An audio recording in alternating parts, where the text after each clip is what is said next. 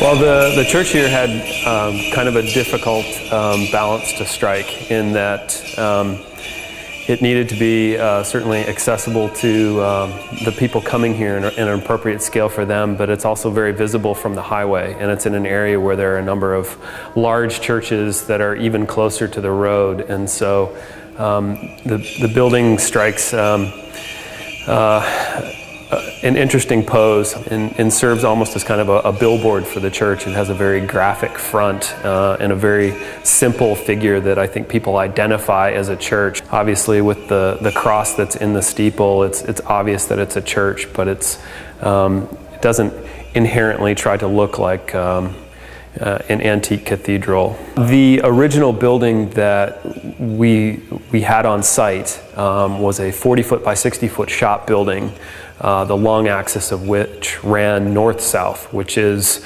contrary to the east west orientation um, needed for the Orthodox Church. And so we had a discussion of whether or not we would simply use the building as is uh, for the sanctuary space and then um, go through a, a process with the church of reorienting um, the worship space. But we really didn't want to do that. We really wanted to.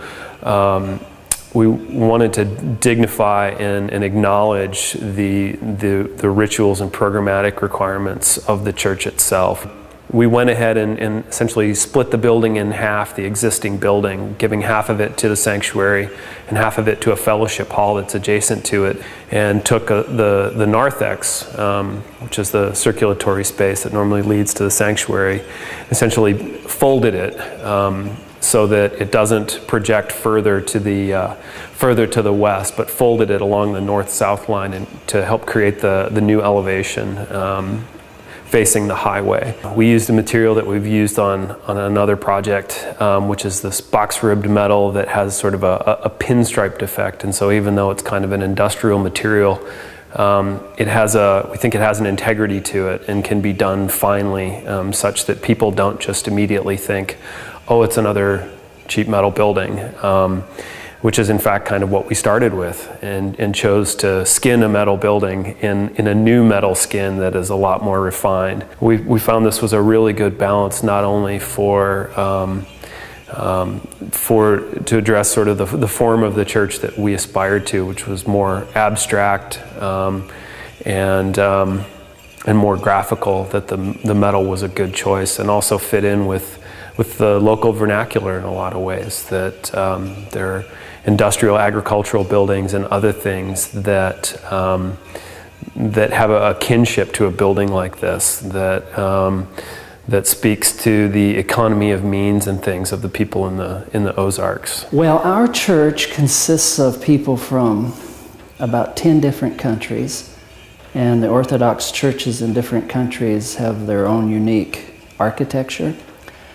And there was no way we could blend in all the different ways together to make it, we thought, look clean and nice. And, and so we looked at the Ozarks and Arkansas and uh, various indigenous architecture styles here. And when we contacted Marlon Blackwell, he had some ideas that everybody was enthused about. It was very important to us to have some sort of dome incorporated with the facility, and one of the nice benefits of that is the sound and the acoustics bounce back very nice, and so everyone can hear real clearly. It does what it was supposed to do, and I think the inside of it is very, very conducive to worship. It's very peaceful.